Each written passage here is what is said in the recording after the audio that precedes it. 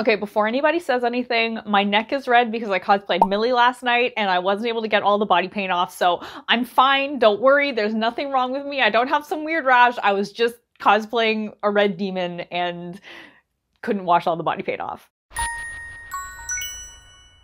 Hello everyone! Welcome to a new video. Uh, the green screen is back because I'm back with another anime, anime rant. rant. Today we're going to be talking about anime ages because I have a lot to say and what better way to put my thoughts out there than to yell in a YouTube video. So that's what we're going to be doing today. So to preface this, I recently got into Bungo Stray Dogs which is a very good anime. Very happy that I watched it. Um, I love Atsushi so much. I, I've cosplayed him. I find him very comforting. I find him very relatable and you know things have been going well. I recently recently watched Dead Apple, which is the Bungo Stray Dogs movie. And at the beginning of the movie, there is this sequence where they introduce all the characters, they introduce their name, their ability, and their age. And let me tell you, when I learned some of these characters' ages, I was triggered.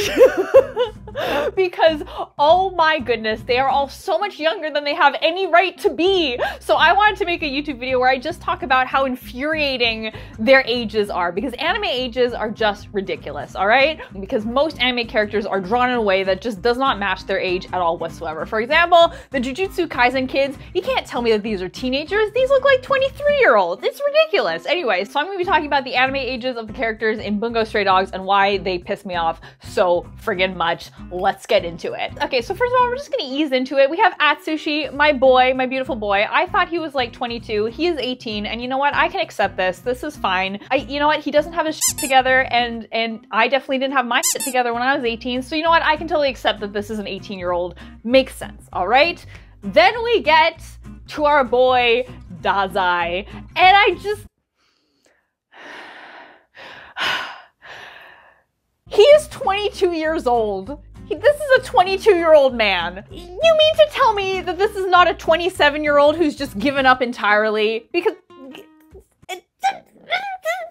I thought he was 27. He's got to be in his late 20s. No, he is 22 years old. If you're 22 years old, you are still a baby. You have not lived through all the things that this man has lived through at 22 years old. 27 years old makes so much more sense, all right? But what's even worse about this is the fact that when he was in the Port Mafia, which I like spoilers, by the way, I realized I should have said that at the beginning of this video. Spoilers. When he was in the Port Mafia, he was like what?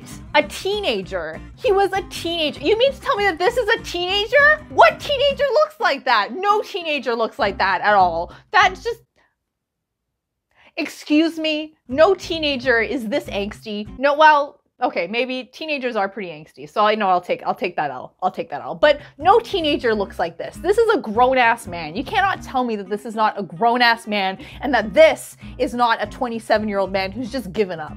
All right, come on. Then we get to our boy Kunikida, who again is 22 freaking years old. I'm sorry, what? This is a 30 year old man with a mortgage. You cannot tell me that he's 22. That is a baby age. He is not a baby. He looks like a grown ass, mature man who is paying off his house. Like, come on. Seriously. I, I, you can't tell me that he's 22. That's just, you, what? 22, you've just gotten out of college, you've just gotten your life together, or you're starting to get your life together. This man has his life together more than I ever will, and he's four years younger than me. That is rude. I feel personally attacked by that. That is ridiculous. You cannot, you, you just, you just cannot.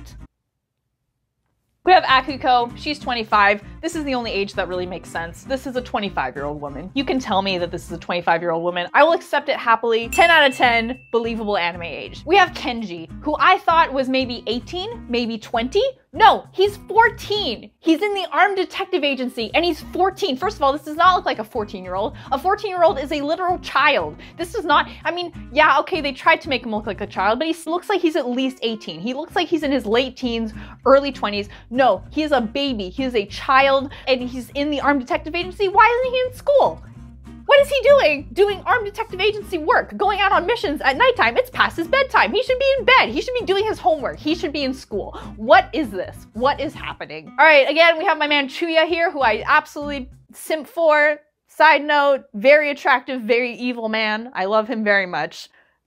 Moving on. Uh, he as well is 22 years old, which I guess I can buy it. I guess, but I thought he'd be closer in age to what I thought Dazai was, which I thought he was 27. So I'd think that Chuya was like 25, 26. No, again, he is 22, which also means that he was a teenager when he was in the Port Mafia. But at least at least in that episode, they did noticeably age him down, which they did not do for Dazai for some reason. Like, Dazai just looks like the exact same, like he's always looked, just he has bandages on, which I don't. You mean to tell me that that's a 15 year old? That's not, no 15 year old looks like that. You can't just, that, no. Nuh-uh. So you know what? Chuya's age, I guess I will buy it. I will take it. If you're selling it to me, I will buy it. I won't buy Dazai's age, but I will buy Chuya's age. That I can live with. That is fine. Who else am I gonna complain about? I have a list. Junichiro again, he's 18. That makes sense. He looks like an 18 year old. He acts like an 18 year old. This is fine. This is all. This is totally all right. Then we have Akutagawa, who is 20 years old. Which will I buy it? I guess. But he really, he again gives off 25 year old vibes. All right. Again, if you're a 20 year old, you're still very much a baby. But then again, he is he acts like a baby. He whines like a baby. So you know what? Actually. Actually, I'll buy it. I'll take it. He is this is a 20-year-old man.